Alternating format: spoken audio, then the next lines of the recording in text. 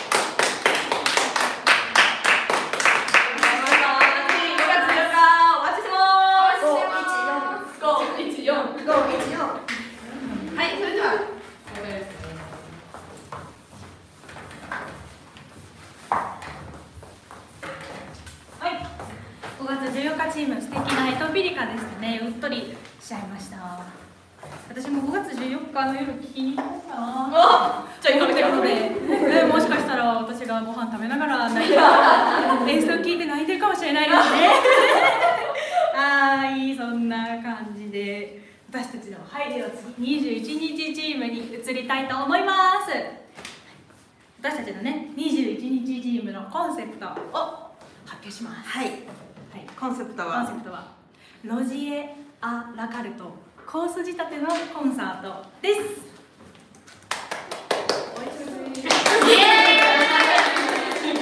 はい、こちらをコンセプトにそれぞれの楽器の美味しいところをギュッと集めたオリジナルコースを皆様にお届けいたしますはい、このコンサートの見どころをマリマリマリマリお願いしますはーい、マリマリマリマリ魅力を語っていきたいと思います。うーんとですね、各楽器のソロを前菜と見立ててね、皆さんのソロの魅力をお伝えできればなと思っております。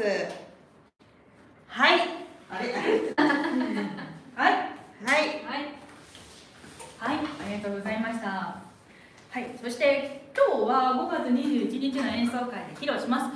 リベル単語を演奏いたします。当日は一人一人の音色を楽しんでいただいた後に4人合わさった音色を最後に楽しむというまさにコース料理のような演奏会のプログラムになっております。では最後まで美味しく味わってください。それでは私たちのリベル単語をお聴きください。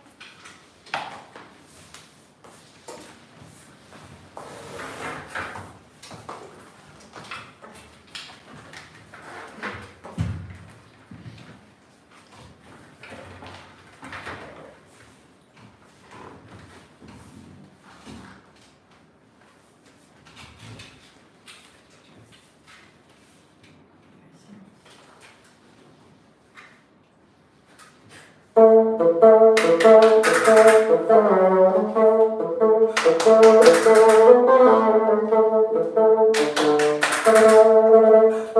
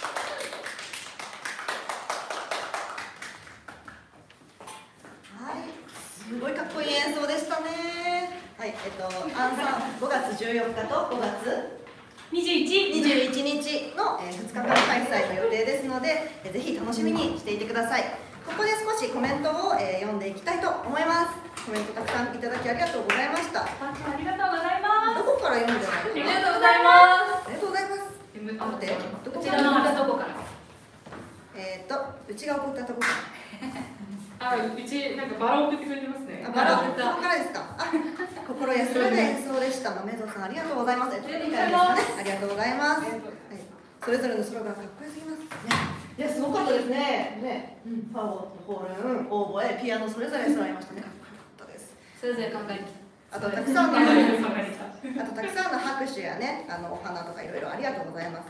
スパちゃんもありがとうございました。ありがとうございありがとうごまざいますでは、えーいよいよ最後の曲に行きたいところなんですすが。がここで 赤坂ダイニングの2日間のお知らせだけではなくもう一つ大切なお知らせがあります。皆さんスケジュール帳のご用意やメモのご準備ちょっとぜひお願いいたします、はい。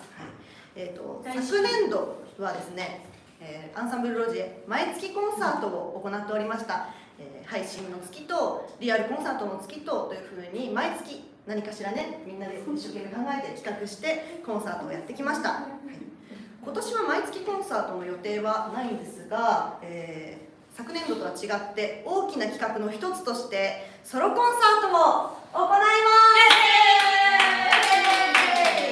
はいしかも全員日にちが違うんです、はい、ここで日にち順にあのソロコンサートのねあの誰が何日でとかそういうの今から発表していきたいと思いますので葵ちゃんからお願いします。はいダラダダンダラダランダラダランそろそろごまかしてはい、皆様こんばんは。ファゴットの並木葵です。私昨日ね SNS の方で告知させていただいたんですけど、7月23日に並木葵ファゴットリサイタルと題しましてソロコンサートをさせていただきます。こちらが私7月13日が誕生日なのでバースデーコンサートバースデーリサイタルも含んでおります。バースデーチケットっていうあの謎チケットがあると思うんですけどこちらは私のオリジナルグッズが含まれておりますので皆様よかったらお買い求めくださいませ。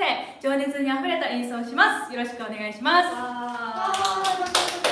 続いてゆかちゃんはい、えー私は7月28日金曜日ですね、えー18時頃から、えー皆さん予定当て開けていただければと思います、えーまだ今ねちょっとチラシとかまだ、あのー詳細はまだなんですが、えー、とユーカワールド全開でコンサートするのでぜひぜひお越しください。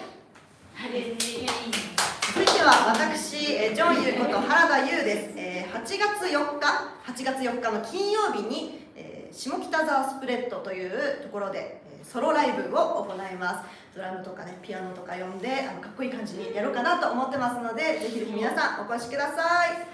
続いてリサちゃんえー、と私は9月7日の木曜日、えー、ユメリア大泉 ちょっとここだ。大泉学園ユメリアホールにて、えー、19時半から、えー行います。私は、えっと去年にですね10月29日にソロコンサートを行ったので今回は、えー私が企画で、えっとホルンならではの北韓語重奏金韓語重奏ホルンカルテットそしてホルンを中心とした、えっと、全員で大合奏をしようかなと思ってるので、えっと、大きなちょっとプロジェクトとかプログラムになると思いますのでぜひ皆さんお越しください。あロジエの管楽器数名参加してくれますよ。いえいえはい。はい、はい、私です。はい、私は、えっと、9月18日、祝日、月曜日、敬老の日です。イエーイ。えっと、まあ、えっと、基本的にはフルートとピアノのコンサートなんですけども、えっと、一度、えっと、ロジェでもソロコンサート、ソロリサ、あの、毎月コンサートのソロリサイタルシリーズの時に使用した、えっと、塩久保のウィルト王子で、お昼ですね、お昼過ぎにやる予定です。2時か3時ぐらい、まあ、確定はしてないんですけども、えっと、また詳細は SNS に載せます。ぜひね、あの塩昆布であの韓国料理を食べてそのまま私の演奏を聴きに来ていただければと思いますので、ぜひ世界観たっぷりあの私のねあの思ってる大好きな曲をたくさん詰めて演奏したいと思います。どうぞよろしくお願いします。はい続いてまほちゃんまほちゃんはい、まほちゃんです。私は未定です。9月のどこ岡でやります 場所も未定ですごめんなさいえっとしっかりクラシックをやろうと思ってます。京山マリナです。イエーイ。来てください。私もまだ未定です。SNS 要チェックですね。ですはい、みんなありがとうございます、はい、こんな感じでソロコンサートも赤坂ダイニングだけではなくてねソロコンサートも全員企画しておりますので皆さん楽し夏まで楽しみにしていてください。それではそろそろ最後の曲へ行きたいと思います最後の曲は宝島をお届けしたいと思います。こちらは7人全員でお届けいたします。宝島といえば吹奏楽曲の定番として有名ですよね。で T スクエアの曲のアレンジになってると思うんですけど今回は7人のアンサンブルアンあめっちゃ噛んだごめんなさい。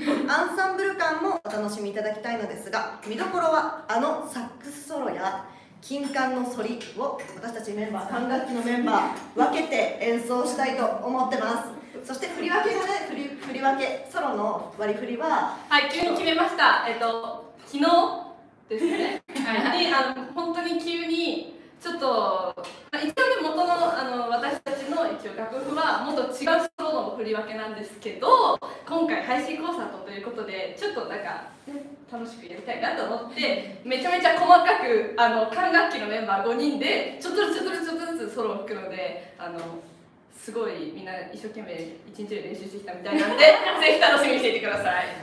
アンサンブル感と技巧的なところにも注目してお楽しみください。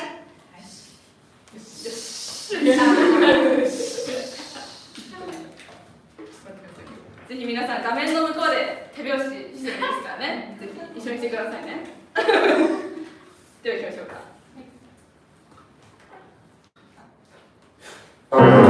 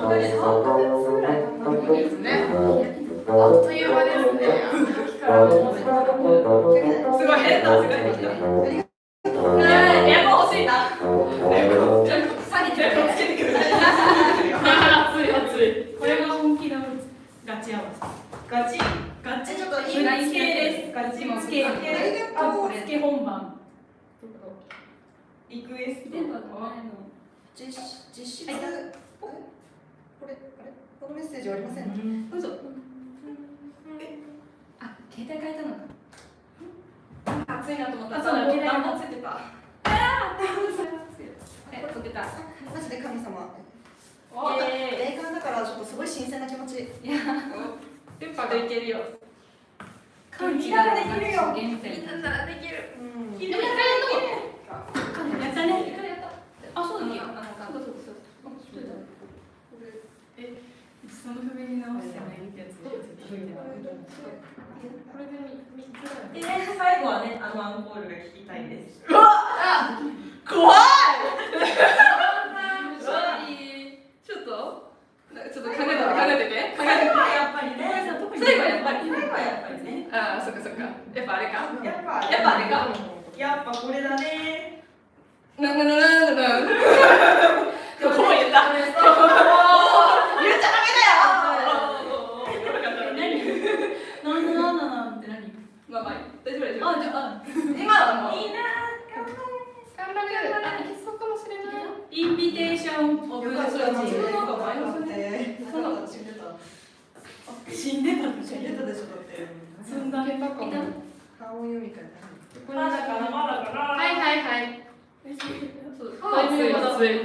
ょっと古いやついいよね違う。ところだったら分かんない一い、くれないの大丈夫ペダルはない、よし皆様あのね今プロデューサーからねわあ盛り上がってる。ちょっとお声掛けいただき。あの曲紹介をね。はいそうですね。はいイ紹介ビテーションイビテーションオブロジェでやってますよね。はい。はい、バンド招待状という曲でございます。えっと、この前の、えっと、豊洲でも演奏したんですが、あの、ちょっと単語っぽいような感じで、私たちの大人な。ちょっと色気あふれるかっこいい曲になっています。そしてね、あのそれぞれの楽器がね、あのソロでこう掛け合っていくというか、こう順番に出てくるっていうところもね、すごく魅力なので、それぞれがこう表すバラをぜひ表現するバラを楽しんでいただければなと思います。はい、いいですか？これこの曲は楽器奏者でもある加藤大樹さんが私たちにこの木管五重奏をイメージして書いてくれた作品ロジェオリジナル作品となっております。それぞれの楽器のソロが、まあ、今言って出てきた出てくるところがかなり魅力的な曲となっておりますのでぜひそこに注目してお聴きください。加藤大樹さんの YouTube チャンネルではセカンドコンサートで初初めて初演奏した時の動画が載っかっております。こちらの譜面今奏者の方も何人か見てるのかもしれないんですけど演奏者の演奏したいよっていう方譜面購入することができますのでぜひ皆様そういう目線でも見てみてください。お願いいたします。準備できた。できました。はい失礼お待たせしました。やばいやばい。やばい。やばいやばいマジで焦ってる。マジめくれないの。めくろうか？いや、ここは無理。どこいる？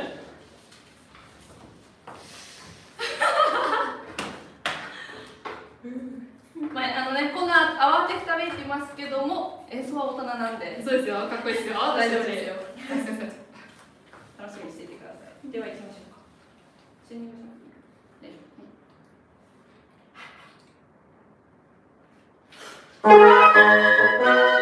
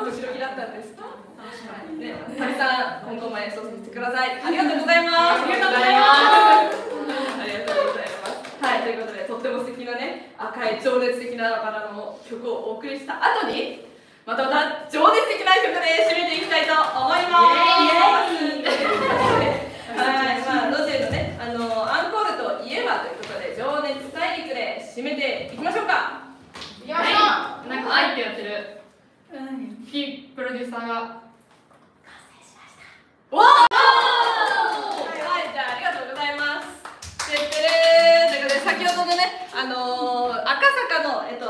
ダイニングのコンサート、ここら辺で、すみません、プロデューサーさん、ありがとうございます。出来たてほやほや。出来たてほやほや。新公開。し初初公開でございます。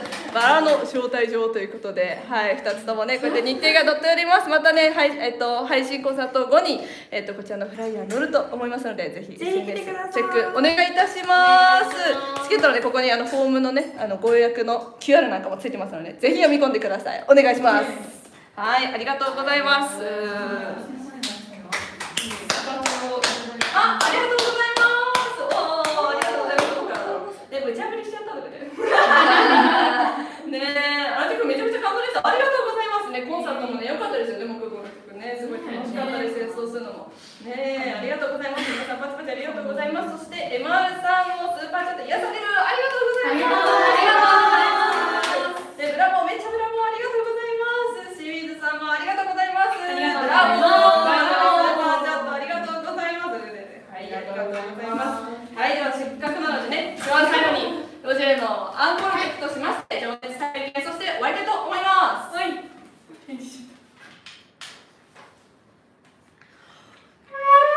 Oh.